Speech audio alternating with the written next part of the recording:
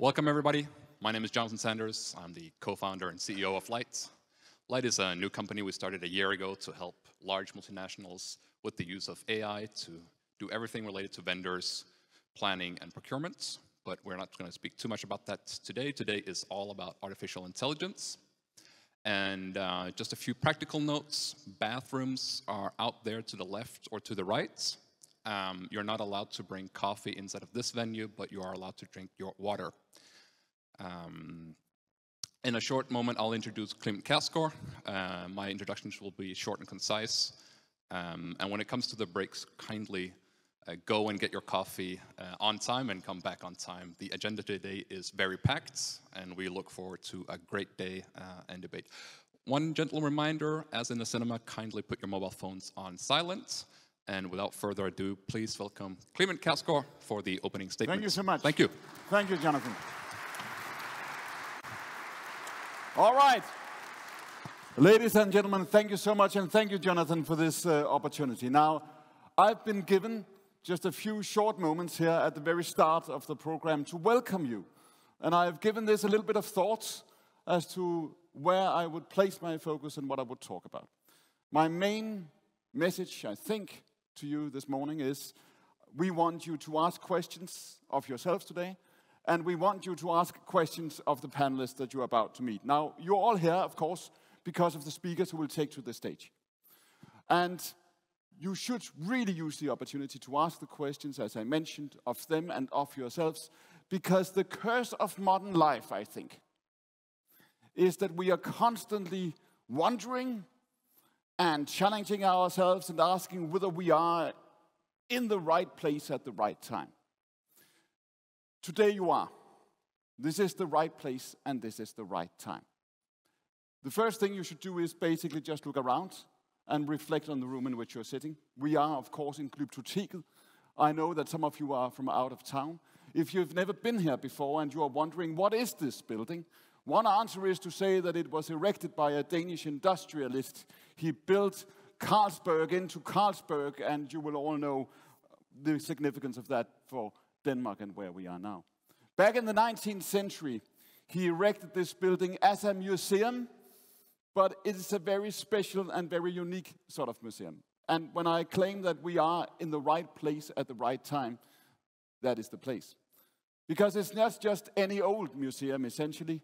It is a transmission system for beauty, nothing less.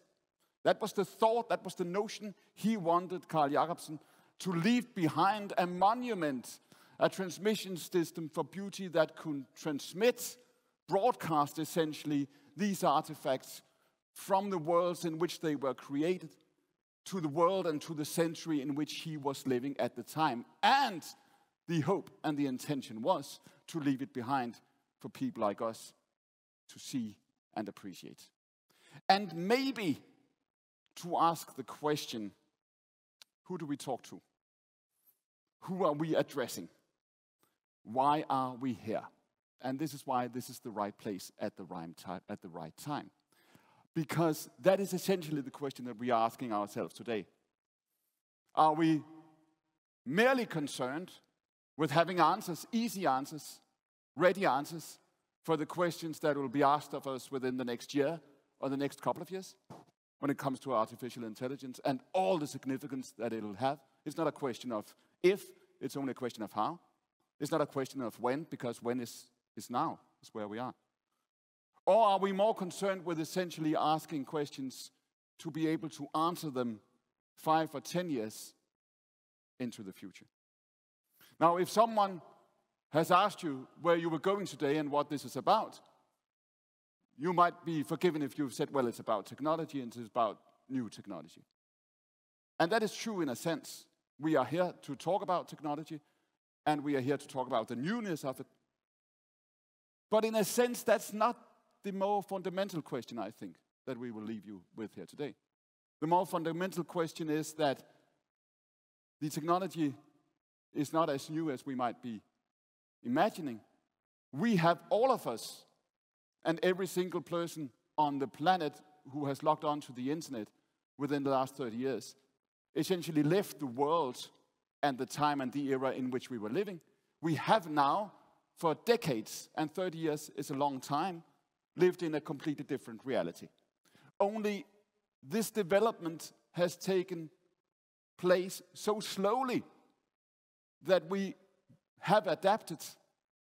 Maybe not in the ways we think we have adapted, we have changed, and maybe not in the ways that we think that we have changed.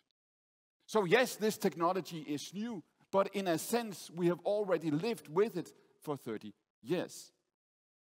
And when we say it's about technology, maybe that is only the first question. Maybe the second question is that what this day is and what this conference is, is really about us. What is our role? Once we've talked about technology, once we've talked about what we would imagine that it could do for us, once we have been a little bit afraid of it, once we have been frightened, once we have learned to utilize it, once we have invested in it, once we have learned how to harvest the results from it, that is the question I think we're left with. And I think this is the reason why this exact discussion is spreading uncertainty uh, in a time, of course, in, in the history of the world that is already uncertain and is spreading fear and at least anxiety at a time in history that is already full of both. So it's not essentially about the technology, it's not about what we make the technology do for us.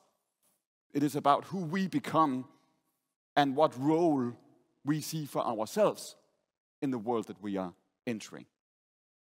I would make the claim that over the past 30 years, we have changed maybe in ways that we haven't been prepared to, and maybe in ways that we should question ourselves.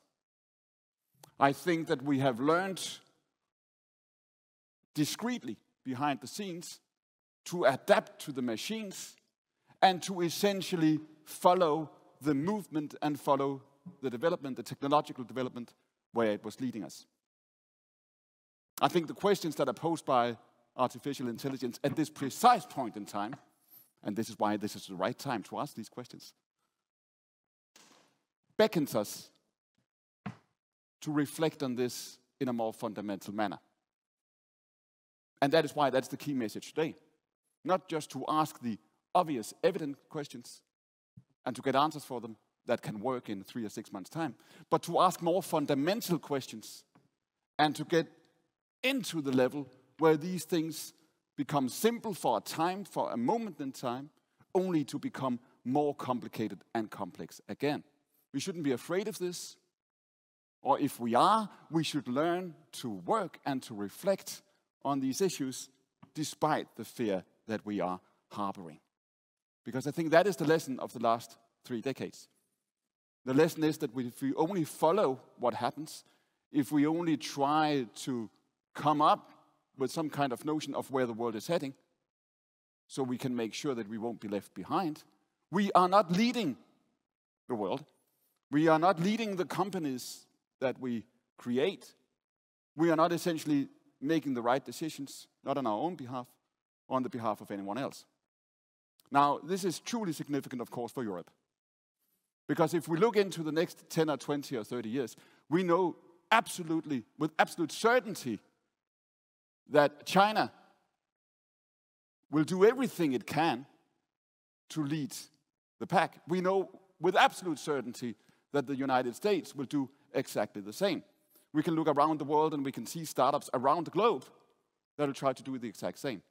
If we look to Europe, for the past three decades, we are facing a more difficult question. Because if Europe continues to underestimate the value of technology, if Europe continues to underestimate the challenges that we're facing, in 30 years from now, we won't be where we are today. We will be, have been left even further behind, and we will be having a very, very different conversation from the one that we can have today. So that is why these questions are the right ones. Not the easy ones, but the right ones. This is why we will do our best to find answers today and make sure and be certain that this is the start of a conversation, not the end of it by any means.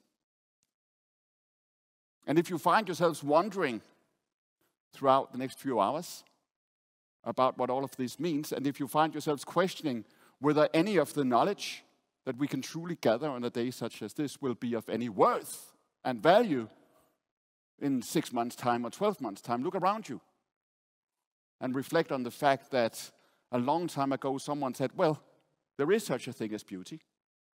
There is such a thing as truth and beauty. There is such a thing as something that is, if not eternal, quite close to it. And we can build, just as this museum and the room in which we're sitting, we can build a system of transmission to speak to ourselves and those who follow us down the line. Welcome. Jonathan?